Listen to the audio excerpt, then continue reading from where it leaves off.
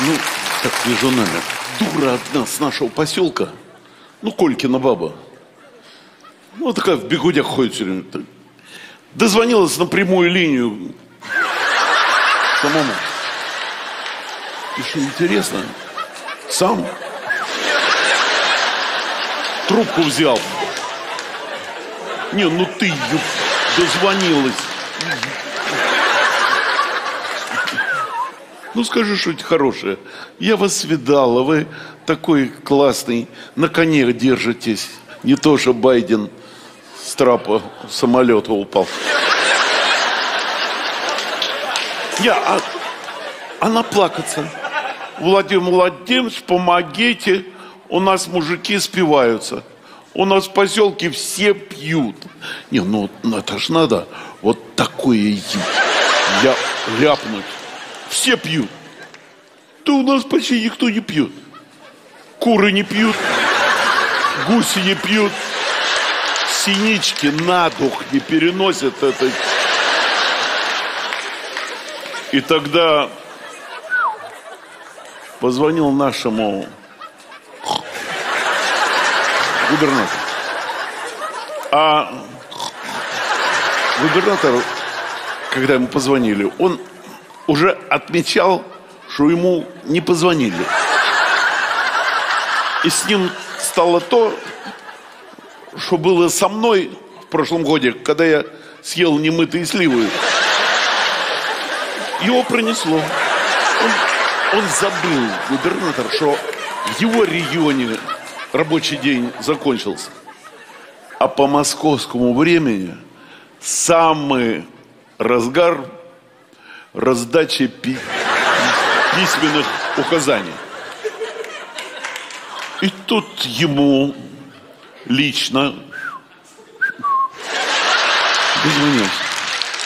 Причем на выключенный мобильник. Ну ты хихикаешь, а он сделал с ним то, что я сделал со своей женой в первую брачную ночь. Поговорил с ним. И губернатор так обостр... обостренно во- воспринял критику, что прямо с постели вот в чем был. Прибег к нам ночью зимой за 200 километров пешком, потому что машины к нам не проехать. Да, в чем юмор, я же не сказал. Значит, губернатору выделили деньги на дорогу. А он на эти деньги купил себе лимузин. Теперь ему есть на чем ездить, но негде. Вот, вот такая трагедия у человека. Я, я плакал, когда услышал. Короче, он прибег, все собрал и говорит, мы должны победить алкоголизм, потому что президент приедет и каждого лично обнюхает. Давайте составим план, что надо сделать в первую очередь.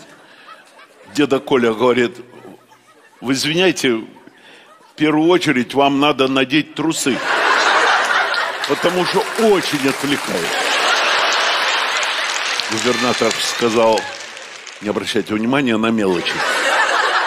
Главное, главное, мы сейчас посмотрим программу о вреде спиртного и врубают по телеку вот эту программу «Жить здорово», где Елена Малышева стоит в костюме печени, а какой-то лысый мужик с табличкой «Водка» бьет ее молотком по голове.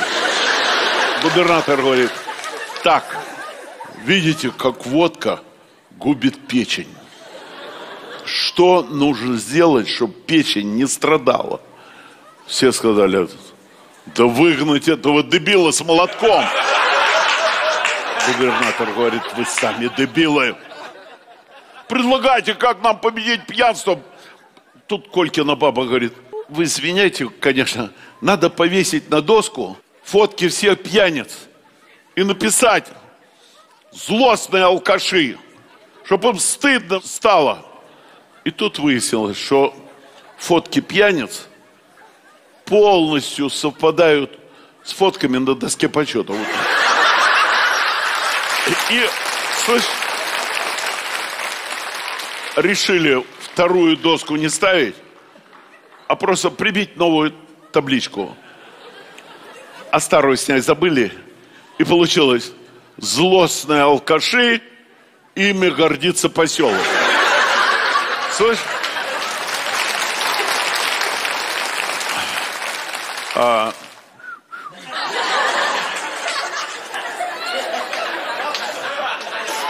Губернатору на мобильник сообщение шлет. Как успехи? Какой процент протрезвевших? А то я гляжу через спутник, а количество населения, ползающего на четвереньках, не сокращает. И, кстати, наденьте трусы, а то мне отсюда видно, что у вас есть гражданство Израиля. Губернатор так испугался, что трое трусов надел и четвертую на голову, чтобы сверху было видать. А всем ползающим на четвереньках приказал приделать башке рога, чтобы со спутника казалось, что это скотина пасется. И сам, когда ходил по улицам, махал в небо рукой и слал воздушные поцелуи.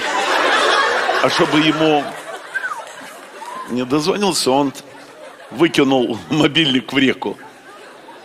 Ну тут из реки вылез водолаз и сказал, вас к телефону. Губернатор трясущимися руками поднес телефон к уху и услышал что-то со связью. Мои знакомые журавли, пролетая над вами, не увидели дорогу, на которую вам выделили деньги. Зато увидели лимузин, нет ли тут связи. Губернатор говорит, это не мой лимузин, это так, на, на нужды э, народа возим, как говорится, больных к врачам.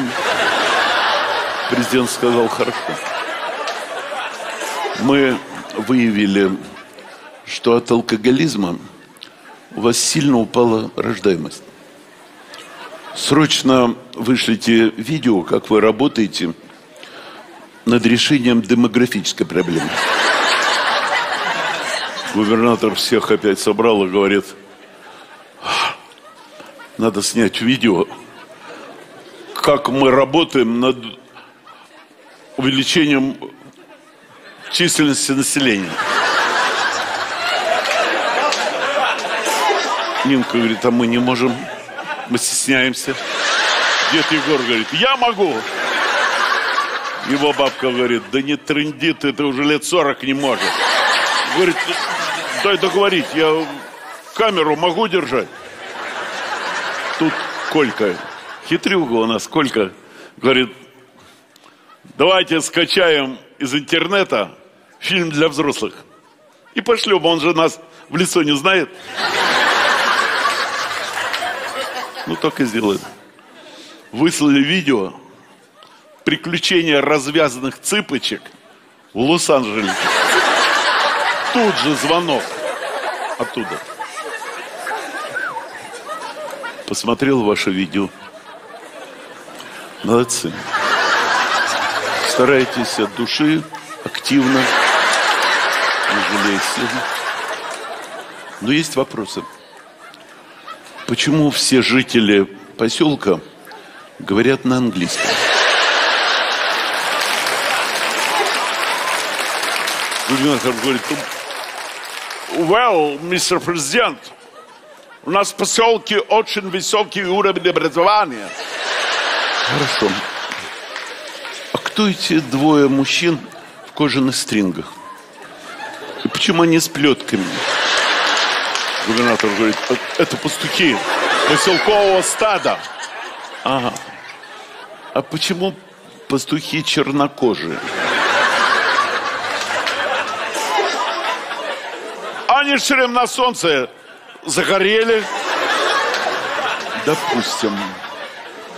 Ну почему один пастух решает демографическую проблему не с доярками, а с другим пастухом?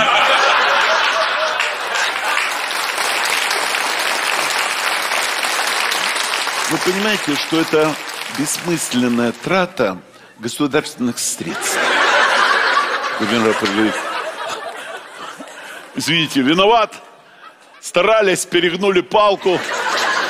Президент говорит, если это ваш поселок, то почему у вас в центре Сибири в декабре растут пальмы, летают попугаи и написано «Welcome to California»?